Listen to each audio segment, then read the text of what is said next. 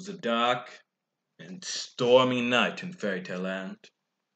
A night just perfect for witches. With Fairy Godmother in the clink, I began to wonder if we were ready for a world turned topsy-turvy. Sweet witches, friendly wolves, wise wizards, and princesses with pig noses. It's a world gone mad. But somehow I think things will turn sunny side up. And we may get that happily ever after, after all, in Fairy Tale Land. I was about to call it a day, because I had this over easy feeling come over me. Then she rode in.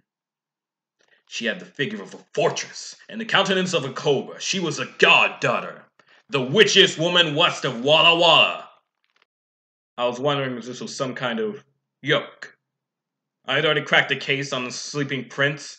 Fairy godmother was left with egg on her face.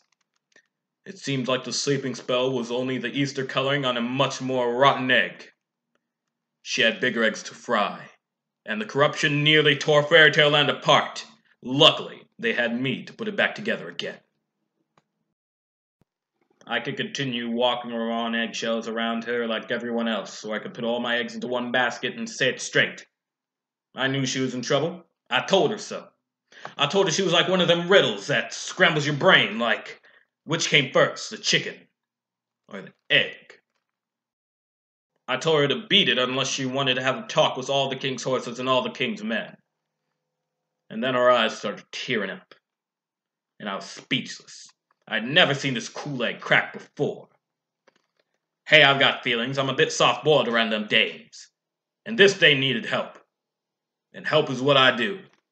Because I'm Humpty Dumpty. Private Egg.